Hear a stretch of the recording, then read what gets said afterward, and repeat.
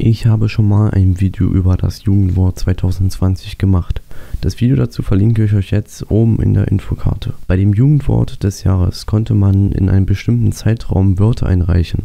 Und die Wörter, die am meisten eingereicht wurden, kamen in die Top 10 Abstimmung. Dort konnte man dann abstimmen. Die drei Wörter mit den meisten Stimmen kamen in die Top 3 Abstimmung.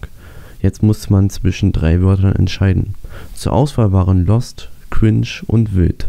Vor ein paar Tagen wurde entschieden und das Ergebnis wurde auch präsentiert. Das Jugendwort des Jahres 2020 ist offiziell Lost